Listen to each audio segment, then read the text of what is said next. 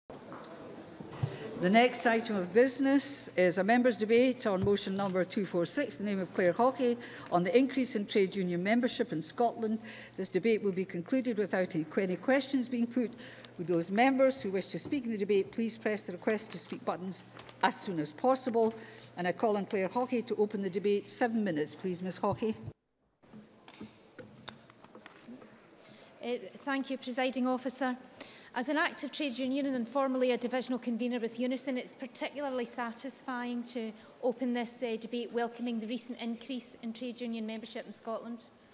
The trade union movement has a proud history of protecting workers' rights, born out of a desire to combat exploitation and to ensure a fair day's pay for a fair day's work. The rapid growth in mass industrial workplaces in the 19th century provided great wealth to those who sought to develop the new industries of the Industrial Revolution, be that textiles, iron, coal, steel, and the onset of mass manufacturing. These new industries were labour intensive and being mostly based in larger towns and cities drew much of their labour from a changing agricultural population. All over Europe and Britain, people were moving, Towns and cities were growing and goods were being manufactured to feed the expansion of empires. However, whilst great wealth was being created for some, life was often cheap. Poor working conditions prevailed and injury and death in factories and mines were commonplace. Who could forget accidents on the scale of the Blantyre explosion in 1877 in my own constituency, where at least 215 men and boys perished? Indeed, the scale and frequency of mining and other industrial accidents across Scotland and Britain during that era was horrific.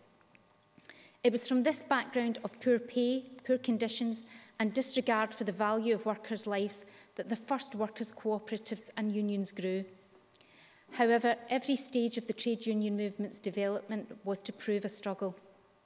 As the number of trade-based unions grew, supporting members who exercised their right to withdraw their labour for fair treatment, so gradually pay terms and conditions improved. The legacy of those hard-won benefits remain with us. Trade unions and collective bargaining have given us many of the benefits which are now so often taken for granted. A standard working day with paid breaks, the minimum wage, pay for overtime, paid holidays and public holidays, sick pay, paid maternity and recently paid mater uh, paternity leave, the right to withdraw your labour when in dispute, and the right to representation. If you just let me carry on just a wee bit more, thanks. Uh, one of the greatest achievements of the trade union movement was ensuring the basic right of a safe place to work. Health and safety at work legislation would not be as rigorous as it is today without the work and sacrifice of trade union members over the past 130 years. Of course, terrible accidents can still occur, And I would in particular ask Parliament to be mindful of the approaching 28th anniversary of the Piper Alpha disaster on July the 6th.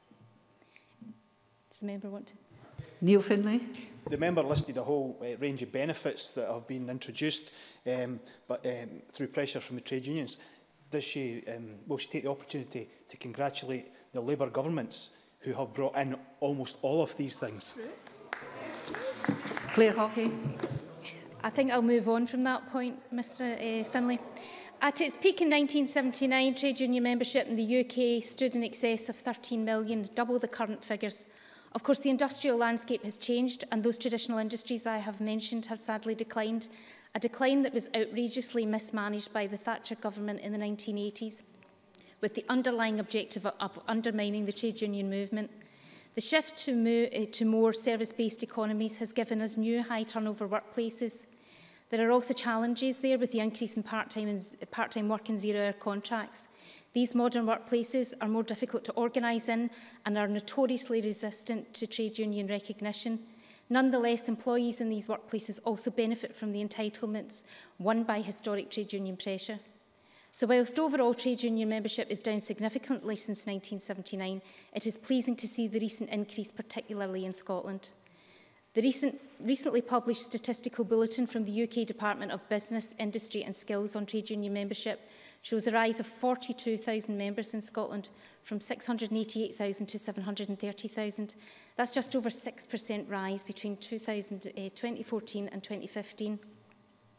There are some interesting and welcoming points in its key findings. That women are more likely to be trade union members than men. That in the teeth of Tory cuts, public sector membership is up. Private sector membership has increased for the fifth successive year. A trade union presence in the workplace is higher in Scotland than in the UK as a whole, and employees in Scotland and Wales are more likely to be trade union members than workers in England. There are, however, also some points of concern. Older workers account for a higher proportion of members, with 39% of uh, membership over the age of 50. Full-time employees are more likely to be members than part-time ones, and middle income earners more likely to be members than lower paid mem e-, earners. Presiding officer, trade union membership in post-industrial Scotland is as relevant and beneficial today as it was in the past. However, all the achievements I have listed are now under the threat from the current Tory government UK the current Tory UK government's proposed trade union legislation, which I am proud to see this SNP government and our SNP MPs in Westminster, with the support of this Parliament and the STUC, have pledged to resist. This totally unnecessary legislation is a threat to the fundamental rights of workers and threatens to undermine Scotland's approach to industrial relations. There is no evidence to support the need for this legislation and the UK government has made no attempt to consider its impact in Scotland and in particular on our public services.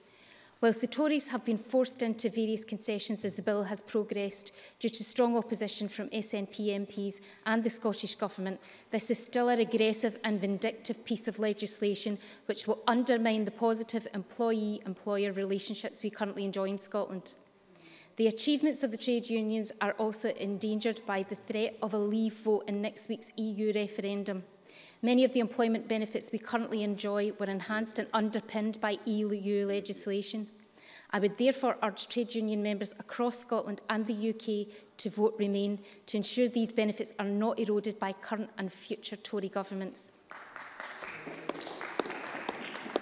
I'm proud of the relationship this government has fostered with the unions and the STUC to ensure we deliver a fairer deal for the workers in Scotland.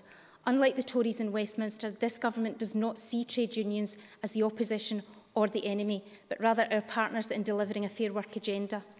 Scotland's proud trade union heritage is no longer the preserve of any one party. It belongs to all of us, regardless of the sector or demographic. The benefits of trade union membership have helped lead the foundation for us to work together to take Scotland forward. I believe we should encourage employees in all workplaces to join a union, especially younger employees. Strong constructive trade unions are an essential element of a successful nation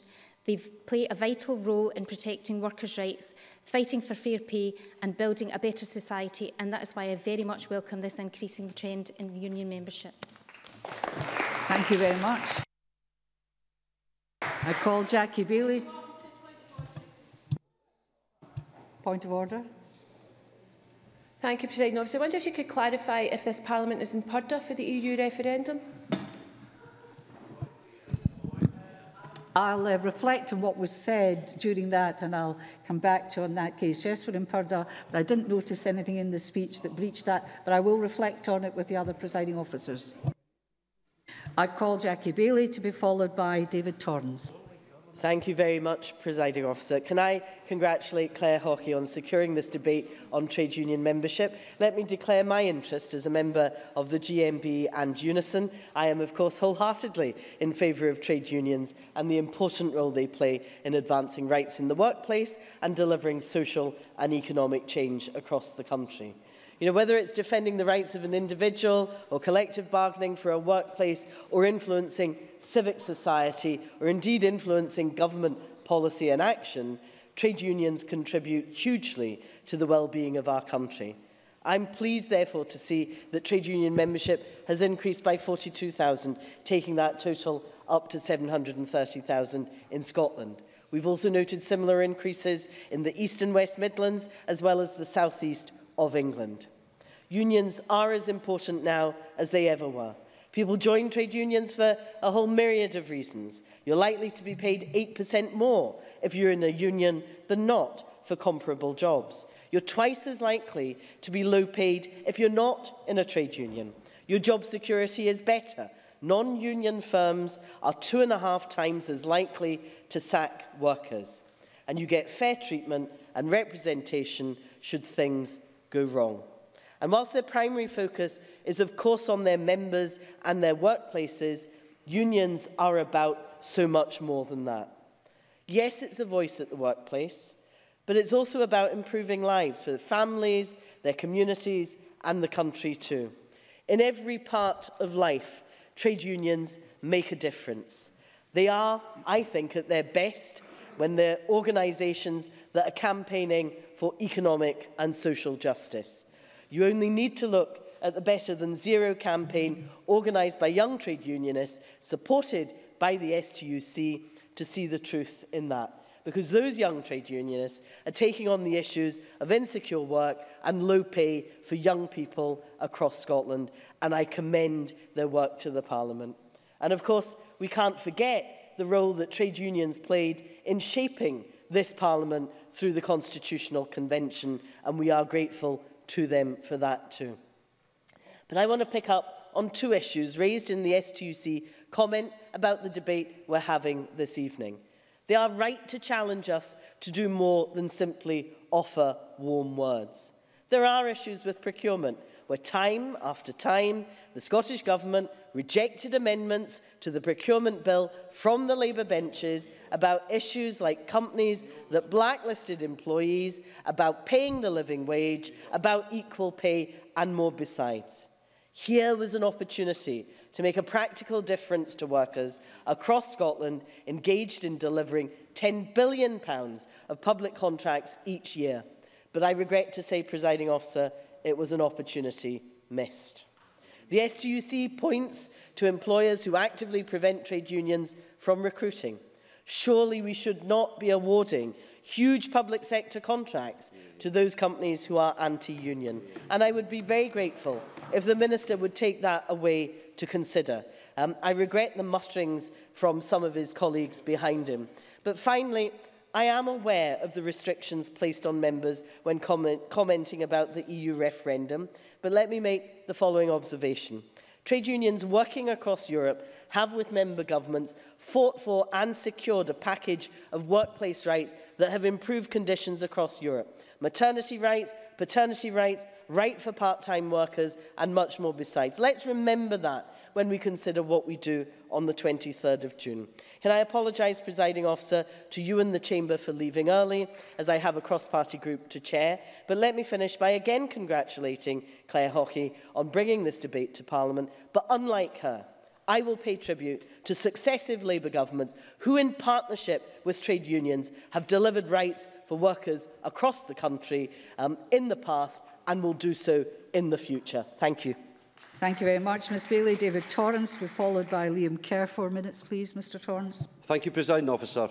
I would like to thank Claire Hawkey for bringing up this motion in Chamber today to welcome an increase in trade union membership in Scotland and the support of its continued growth. Throughout history, trade unions have played an important part in employees' rights and have successfully adapted to immense political and social changes. For decades, trade unions have served as arenas for open communication and bargaining to promote development, not only in the economic sphere through industrial organisation and wage negotiation, but especially in the social sphere with the promotion of workers' rights and responsibilities. I'd like to congratulate the immense progress trade unions have made in recent years in achieving a significant increase in membership from 688,000 in 2014 to 730,000 in 2015. I'd also like to recognise that salaries for trade union members are 8% higher than non-members, and I encourage this progress to continue in the future, despite some economic hardships that Scotland may face. Most of my working life was spent in manufacturing as an engineer, so it was only natural that you became a member of a GMB trade union. Many of the changes to working practices and conditions within the sector over the last 20 years have been attributed to the constant pressure from trade unions, especially GMB. In my last 10 years within manufacturing, I had the privilege to become a shop steward in the GMB. And can I say, pride, presiding officer, it was one of the most rewarding experiences being able to assist and help your fellow members. There is a lot at stake for trade union members on June the 23rd. I commend the support that the European Union has given workers in initiating legislation as enhanced employment protection, especially for part-time, temporary and migrant workers. I cannot stress enough that my, as migration has increased, unemployment in Scotland has decreased. The EU has played a crucial role in implementing legislation on paid annual holidays, improving health and safety protection, right to unpaid parental leave, the right to equal treatment to protect working people from exploitation and discrimination. The future of workers in the EU UK lies partly in a positive development in EU employment law. And I encourage UK trade unions to continue work hand in hand with their European partners to build alliances to advance our social and political objectives. We also need to take economic consequences into consideration. The EU membership ensures us to a European Court of justice and other human rights institutions. And without the protection of the EU, the security of workers' rights of thousands of UK citizens could be eroded. We live in a society where there are more working women, yet they are more likely to be paid less and often without a guarantee that their job is secure. Therefore, I praise the work trade unions have carried out to recognise the extremely important part women played to ensure equal opportunities, not only in the workplace, but also ensuring that women have access to work. Women now make up the majority of trade union membership, and the gap between male and female employment is at its lowest ever, especially in comparison to the rest of the UK. I also commend offshore unions Unite, RMT, GMB, and that list for creating the offshore coordinating group as a quick response to the collapse of oil prices since 2014, which has had a devastating consequences for the oil and gas workforce, Since its establishment, the OCG has been extremely successful in coordinating campaigns for safety conditions, policy development and job security to ensure that trade unions make a positive contribution to achieving the UK and Scottish Government's objective of maximising economic recovery. In conclusion, presiding officer, I would once again like to thank Claire for securing this debate in Parliament today. The voice of a trade union should not be ignored, and I encourage the Scottish and UK government, employers regulators and agencies to listen.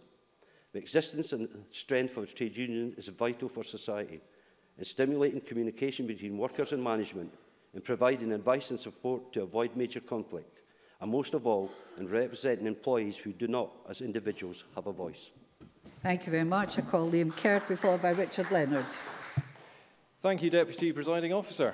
And let me also begin by thanking Claire Hockey for putting down this motion.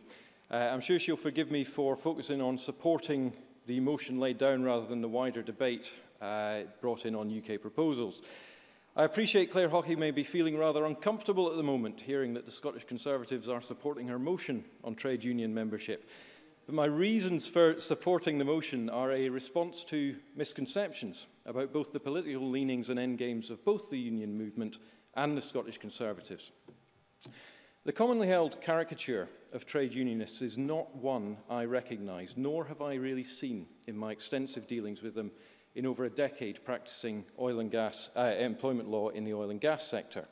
I do not accept that most people join a union because they are particularly political or indeed of the hard left. On the contrary, I agree that the union movement is built on and was built by the workers. hardworking people who believed and still believe that there must be a floor of job security and workers' rights, the counterbalance to the unfettered ability of an employer to source labour at the lowest price. And the modern union movement is so much more. Not only does it campaign for workers' rights, but it plays a vital role defending health and safety in the workplace, ensuring vital representation for employees at discipline and grievances, and training their members to be more productive, better at what they do, providing advice on everything from safety, pensions and CPD. And that training is considerable. And I can say from personal experience that some, if not most of my form most formidable and impressive opponents down the years have been the regional organisers. And let's not forget that the motion talked of membership increasing in specific areas. 55% of the union members in 2015 were women, up from 45% some 20 years ago. The proportion aged above 50 is increasing and around 30% of union members are professionals. As always, those who have the least voice are being given one by this movement. And that, I think, we can all celebrate. Hardworking people, encouraging trade opportunities, people working together in communities and groups to represent themselves and give people a voice. These are Scottish Conservative values. It was Mrs. Thatcher who cut the basic rate of tax from 33 to 25% to ensure all workers could keep a higher proportion of wages. It was today's Conservative Party with its long-term economic plan, which has brought in the national living wage, a mandatory rise, which will reach over £9 per hour, that has lifted those earning less than £11,000 a year out of income tax altogether. Not on four minutes, I'm sorry. All this while increasing childcare provision south of the border, encouraging a renewed focus on apprenticeships and slashing unemployment to its lowest level ever. Now, there are many who would claim the union movement as a Labour creation, but people often forget that it was the original One Nation Tory, Benjamin Disraeli, who initially gave workers the right to sue companies if they broke employment contracts and allowed picketing. It was he who so memorably said, Power has only one duty to improve the social welfare of the people. Mrs Thatcher herself held her first political office within Conservative trade unionists and created 250 branches across the country. In Scotland in 2015, it was the Scottish Conservatives who called for the Scottish Government to use the business rate system to incentivise firms prepared to pay a living wage. So yes, we support Claire Hawkey's motion. The Scottish Conservatives welcome the increase in membership We agree that the trade unions play and have played an invaluable role in Scottish society, and we look forward to them continuing to do so.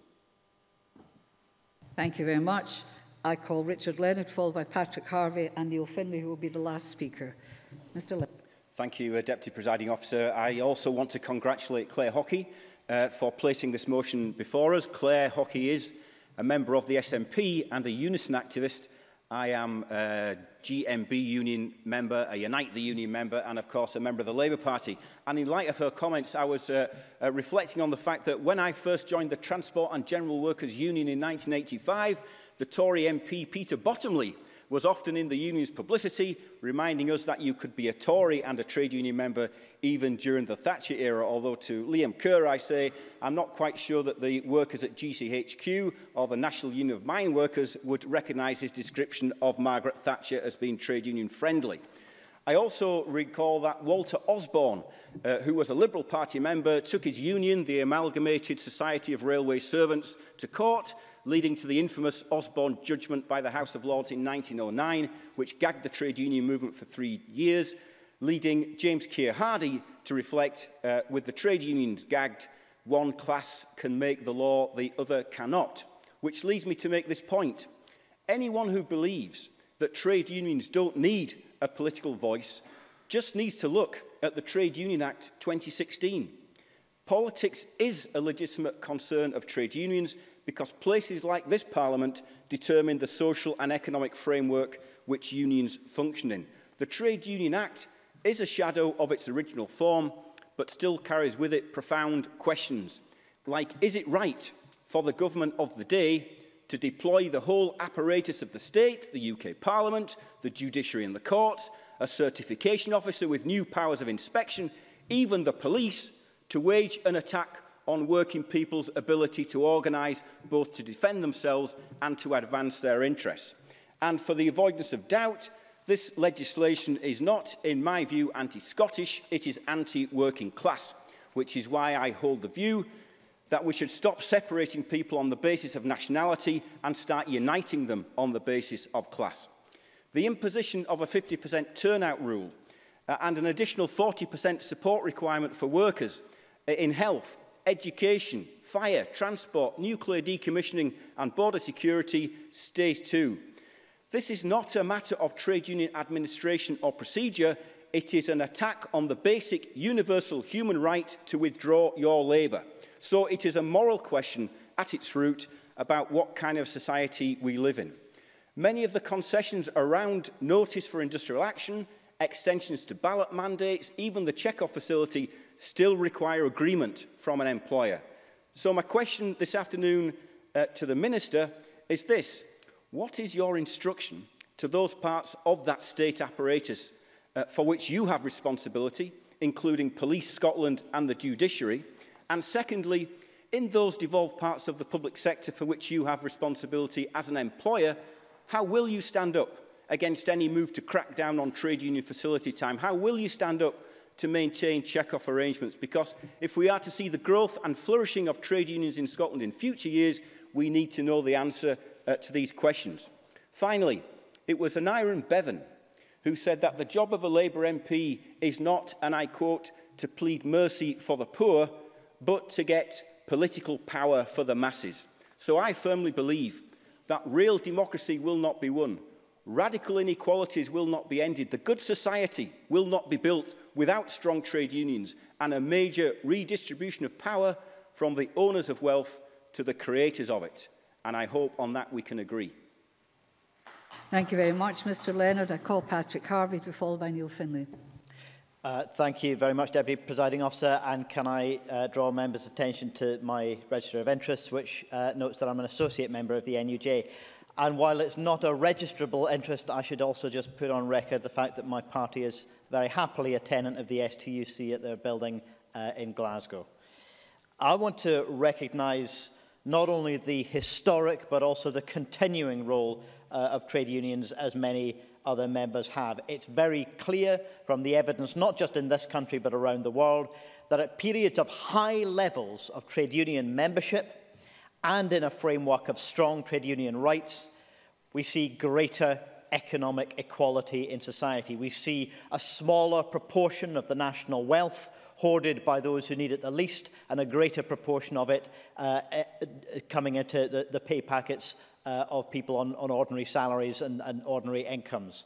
That's what we should be seeking to achieve and we should be under no illusion. We won't be able to build that more equal society without an important role being played by the trade union movement. And um, you know, unlike others, I, I will give recognition and credit where it's due uh, to the actions of previous UK governments, uh, UK Labour governments, uh, as Neil Finlay suggested, uh, in building the Labour movement. Uh, and I hope that he would agree with me Uh, that it would have been desirable also if the Labour government in the 1990s had reversed some of the anti-trade union legislation of the Thatcher era. Uh, I think that's perhaps some, something that we might also agree on.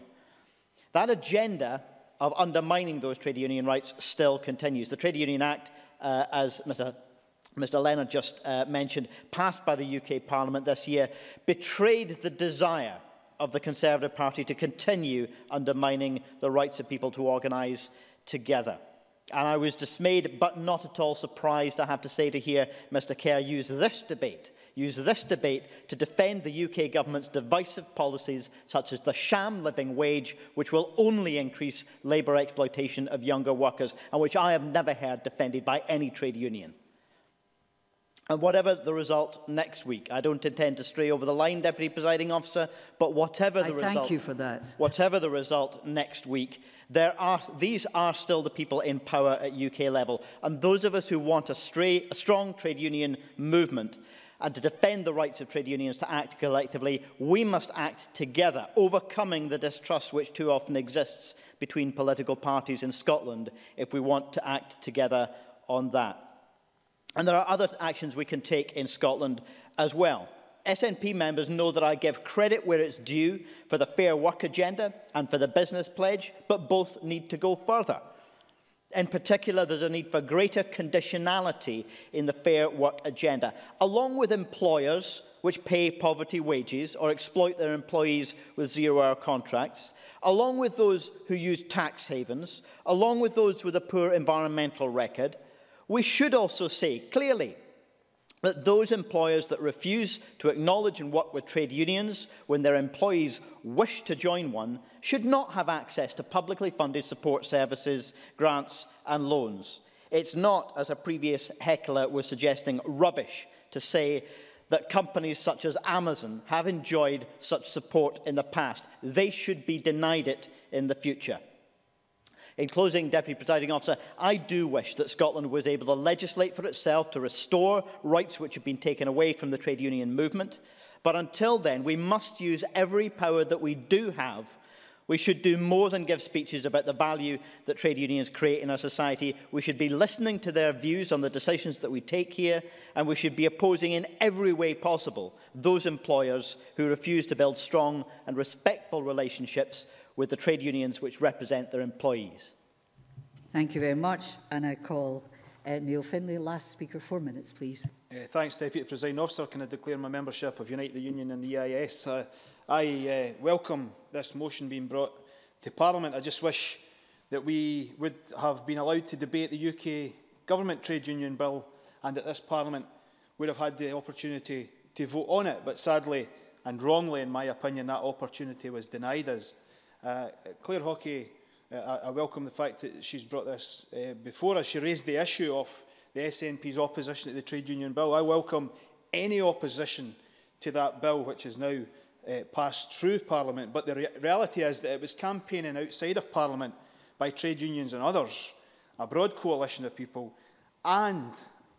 by Labour members in the House of Lords that got rid of the worst aspects of that bill. Now, trade unions are a force for good in society. All of the major progressive social and economic policies that have been introduced over the last century and more have been supported and more often than not driven by the labour and trade union movement. Early trade unions campaigned to end the Combination Acts, the, that ban on collective organisation, promoted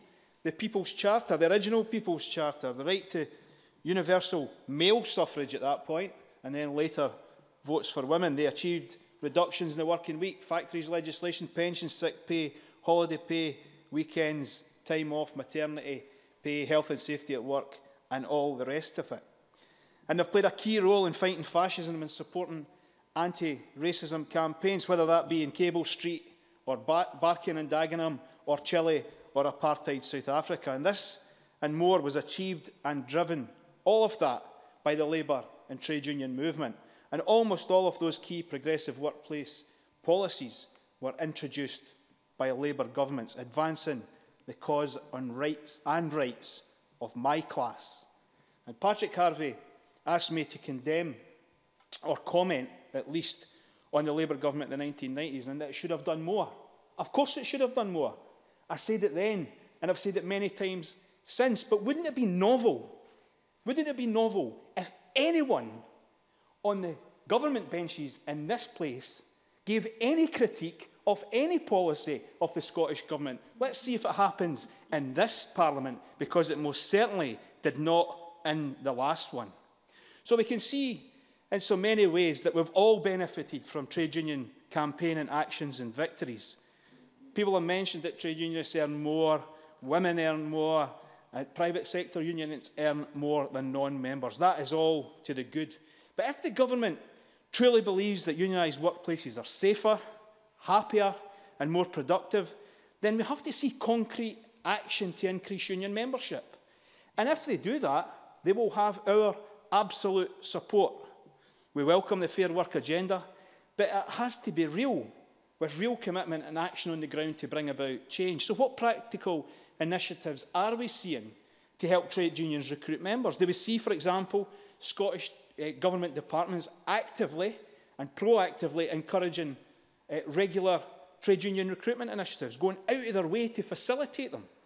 Does the Scottish Government make it clear to agencies and public funded bodies that they should be helping facilitate that recruitment process? Do we put conditions on the award of business grants, like Patrick Harvey mentioned, that would promote collective bargaining or unionisation? I checked today, um, Richard Leonard mentioned it earlier in the debate, 272 businesses out of over 300,000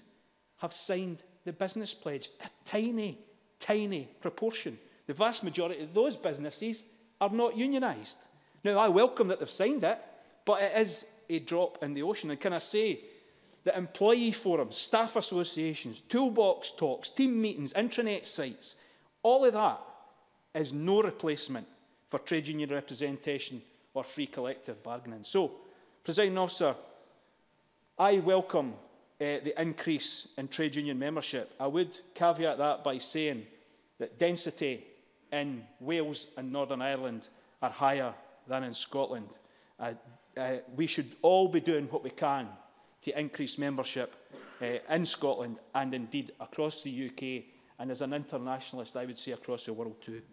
Thank you very much, Mr Finlay. Now call on Jamie Hepburn to wind up, please. Minister, seven minutes. Thank you very much, uh, President Officer. Can I uh, begin by thanking uh, Claire Hockey, joining other members, and thanking Claire Hockey for bringing forward this, uh, her first uh, members' debate to highlight the uh, valued and important role that trade unions have in making our workplaces fairer, uh, and uh, more innovative, more productive, uh, and better places uh, to work.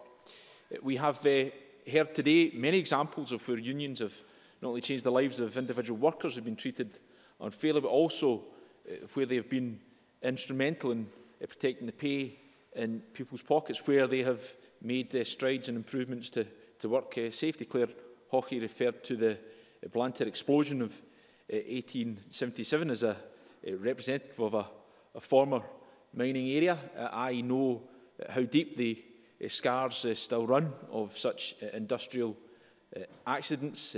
we have, of course, seen massive improvements to health and safety in the workplace in the intervening period, largely because of the pressure applied by trade unions. Of course, tragedies still occur, but they are thankfully much rarer than they once were. Neil Finlay also rightly spoke of the international reach of uh, the trade union uh, movement. We have uh, seen that here in Scotland in the past. He referred to uh, the situation in uh, Chile in the uh, 1970s. Of course, uh, we uh, can think of the action that was taken by uh, workers at Rolls-Royce uh, in East Kilbride, uh, reaching out to those who were facing uh, repression in uh, Latin America.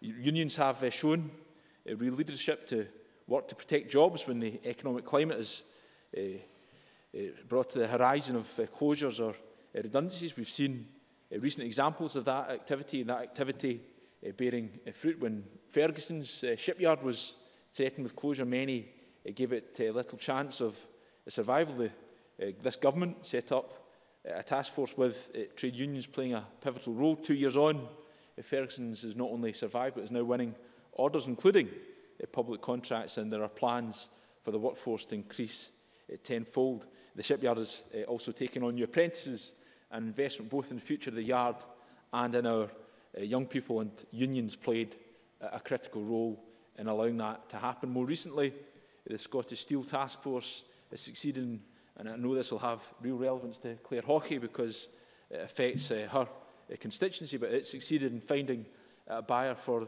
the two uh, threatened uh, steel plants at uh, DL and uh, Clyde Bridge through Out that uh, process, this uh, government worked uh, closely with uh, the community uh, union. Uh, this shows that uh, when government, industry and trade unions work together, we can uh, achieve real uh, results. And uh, our shared values and uh, goals are set out in a memorandum of understanding with the SUC, which uh, captures our uh, commitment to a partnership working on uh, strategic uh, issues. Uh, I thought it was... Of course. Patrick Harvey. I'm, uh, I'm grateful. I'm sure we can all welcome that general sentiment. But I, I'm keen to understand the position of the government on a point of principle. Does the minister agree that it shouldn't be up to employers to decide whether or not to recognise a trade union? It should be up to the employees there to decide whether they choose to organise in that way. Don't, doesn't the minister accept that employers should have a responsibility to recognise and work with unions if their employees wish to form one or join one? I think Minister? Making, I think the point I was making is it's much better when we have that environment and clearly employers have a critical role uh, to play in that regard in allowing uh, trade unions to have uh, the uh, full capacity to organise uh, on uh, the basis of allowing uh, workers to freely associate with one another.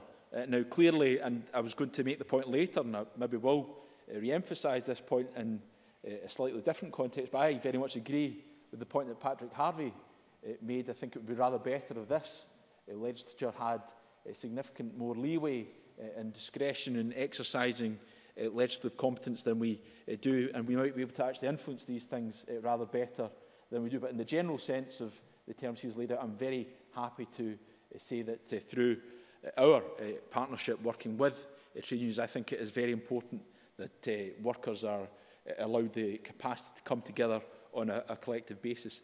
I was going to turn to the comments of, of Liam Kerr because I, we do operate a partnership approach and I thought it was very telling uh, to hear him and uh, it's maybe slightly unfair uh, to do it but I'll, I'll do it nonetheless anyway, uh, presiding uh, officer because I'm picking up on a, what was a, a, a brief uh, remark uh, by Mr Kerr but he said that many of his most formidable opponents have been uh, trade unionists. And I don't doubt that that's probably eh, true, but I think it does speak eh, somewhat of eh, a, mindset, a certain mindset. This administration doesn't view our trade unionist colleagues as opponents, but as valued partners. And of course, having named them, Liam I'm happy to give way to Mr. Kerr. Uh, just to, as, as a point to make, as an employment lawyer principally acting for companies, uh, the regional organisers were typically my opponents. So I meant no slight by the uh, wording I used.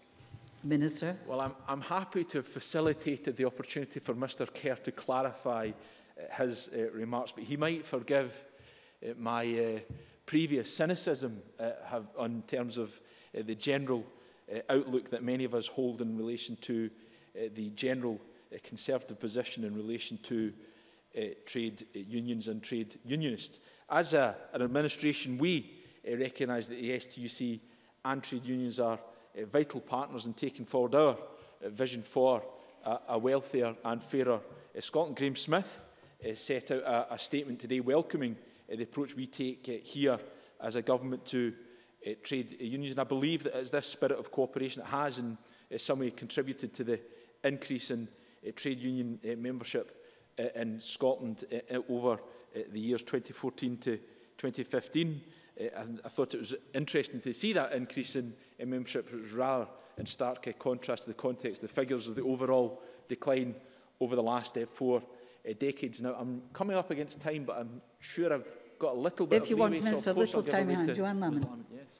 if you regard yourself as opposing the trade unions when your government resisted the idea that people benefiting from public contracts should pay the living wage, or indeed that organisations that exploit their workforce, like Amazon, shouldn't, shouldn't be given government grants, is that opposing or supporting the position of the trade unions?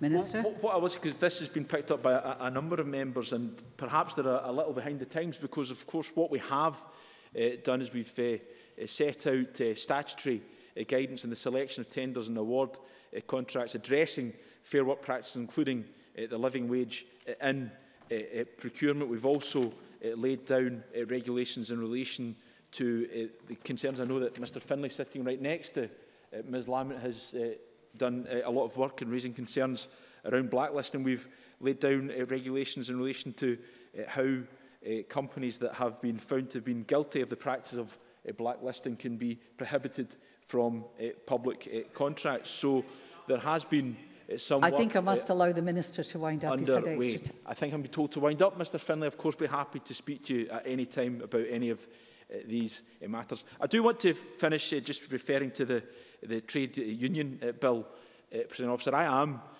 delighted that the opposition of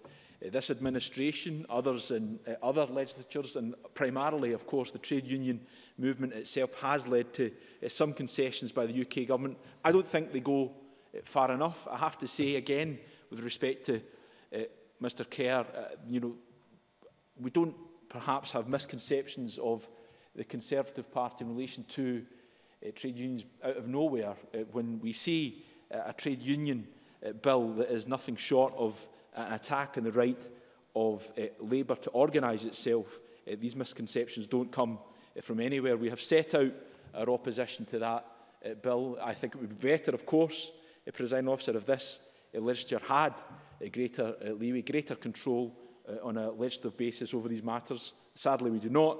Uh, and short of that uh, circumstances, I look forward to Scotland's unions continuing their own representing their members' interests and their continued partnership working with this government to advance the fair work agenda.